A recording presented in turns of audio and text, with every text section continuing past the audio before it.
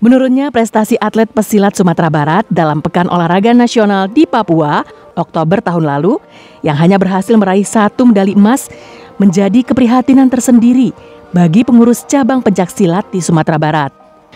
Terlebih, masa jabatan pengurus lama sudah habis sejak bulan Juni tahun 2021 lalu, membuat mereka mencari sosok pengganti Fauzi Bahar yang telah memimpin IPSI Sumatera Barat selama dua periode. Para pengurus cabang pencaksilat ini kemudian meminta Ketua DPRD Sumatera Barat untuk bersedia menjadi Ketua IPSI Sumatera Barat periode 2022 hingga 2026 mendatang di gedung DPRD Sumatera Barat hari Kamis sore. Ada 13 pengurus cabang yang membubuhkan tanda tangan menyatakan dukungan kepada Supardi untuk bersedia menjadi Ketua IPSI Sumatera Barat periode mendatang.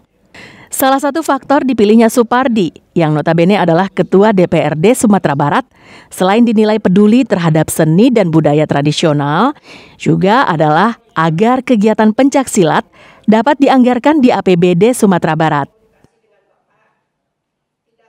Kami komitmen dengan kawan-kawan kabupaten kota ini tetap mendukung diwujudkan dalam bentuk dukungan tertulis oleh eh, ketua FC-nya stempel suratnya ada yang di, diberi materai juga. Ini bentuk dukungan, bentuk keseriusan kita eh, meminta eh, Pak Supardi menjadi Ketua FC Sumatera Barat. Tidak mungkin kegiatan olahraga budaya bisa kita gerakkan tanpa ada anggaran.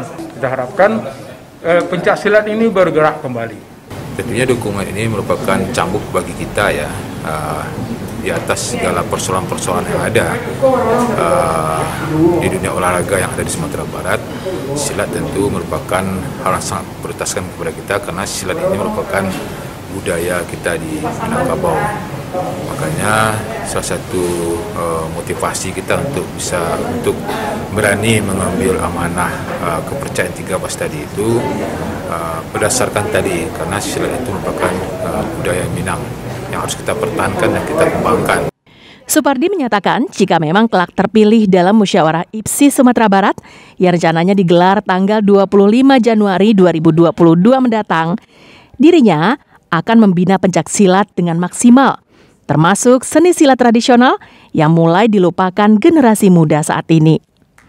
Laude Johardio Anse melaporkan dari Padang.